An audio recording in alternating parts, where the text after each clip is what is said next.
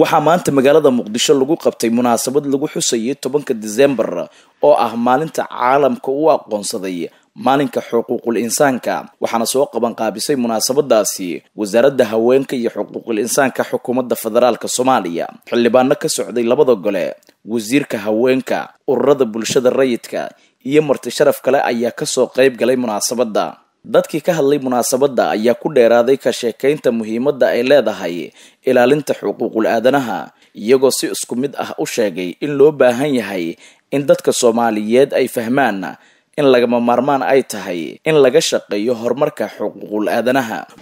Waxaan maalin maadaama laga hadlaayo maalinta oo bula-aadanka laga hadlaayo oo annagana dad maxaa la yidhahdaa inta hadda meesha joogto markhaatina u yihiin aan nahay dad dagaal sokeeye soo baabi'iyey oo hadda dawlad u bilaabatay aan nahay. Oo magaaladana maanta ay dhaqdhaqaaqeeda iyo in xaquuq aadana ay tahay maanta aysan ka muuqanin. Because aniga meeshan deganahay aan ka imaaday ilaa aan hoolka aan soo galo maalin bula-aadanimo inay jirto mau ekeen. Xaquuqda ay sheegayaan waa diinta islaamka wixii laga kitaabka waxay ka heleen ayay noo faahfaahiyeen noona soo meelmariyeen soddonka qodob oo xaquuqa aadanaha uu ka kooban yahay mid kasta wuxuu ka hadlayaa ishuu gaara oo bini aadanka ku saabsan iyo waxa uu xorriyadda u leeyahay iyo waxa uu soo qabtay iyo waxa looga baahan yahay in aad aad ka fuliso. Because diinteenna haddii qofka ay naynaas leedaha la yidhi oo naynaasteeda aysan raalli ka ahayn ha ku dhihin. Hooyo la yidhi labiyo labiyo toban carruur ay dhashay oo saygeedii toorrey la dhacay waa min allaahi wax ka yimi xagga ilaahay weeye subxaanahu wa tacaala. Naf waliba kulli nafta daaqat almowt kulli nafsatal daaqat almowt naf waliba wakhti bay leedahay sabab bay ahayd. Sababta ay ahaydna waxaa ku geeriyootay marwadii hooyadii carruurtaa dhashay. Ninkiina sida naloo sheegay waxaan u malaynayaa inuu xidhan yahay.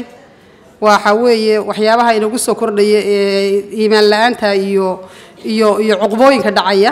Waxyaabahaasoo dhan weeye in la ilaaliyo ay xuquuqda ugu horeyso.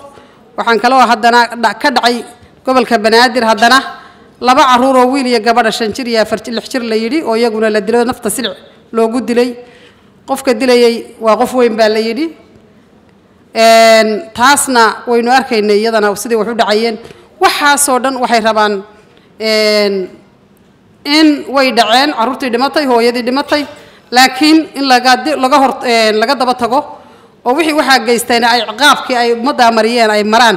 Dhaqan galo. Muhiimaddeeda marka hore waa in shaqo la qabto. Wasaaradda haweenka waxaan u soo gudbinayaa oon aan ka codsanaya wasiiraddeenoona hor fadhida in la abuuro guddi qaran. Meesha waxaa ku jira qodobka afartan iyo koowaad in guddigii qaranka ee xuquuqda aadanaha la dhaqangeliyo marka hore. Inta laga gaarayana inay iska kaashadaan wasaaradda haweenka guddiyada ka shaqeeya xuquuqda aadanaha gobolka banaadir qaybtiisa arrimaha bulshada xafiiska madaxweynaha xafiiska ra'iisul wasaaraha baarlamaanka laftirkiisa wuxuu leeyahay guddiyo arrimo bulsho. Intaasoo isku tagta wax way qaban karaan. Marka aniga waxaan soo jeedinayaa hadduu alla idmo in la abuuro guddi sameeya dabagala ka hortaga si sanadka dambe waxqabad aan u soo bandhigno. Inaan iskala saarno oo ree hebel iyo ree hebel isku kala saarno isku kala saarno wiil iyo gabar waaye isku kala saarno baahiyaha gaarka ah uu qabaa iyo inta naafadan intuu ka yahay iyo intuu ka yahay. Dhammaan waxyaalahaasoo dhan waxaan rajaynayaa insha allah joojinteeda. Wasiirka wasaaradda haweenka iyo xuquuqul insaanka xukuumadda federaalka soomaaliya xaniifo maxamed ibraahim ayaa soo gebagabaysay munaasabadda. Waxaan rajaynayaa soomaaliya inuu noqdo waddan qof kasta ku noolaan karto. Qof kastana way jeclaan lahayd waddan nabad ah. Laisku xadgudbin corruption ka jirin oo shaqadii aad heli kartid. Lagugu dulminaynin waxaa tahay iyo mabaadida aaminsan tahay.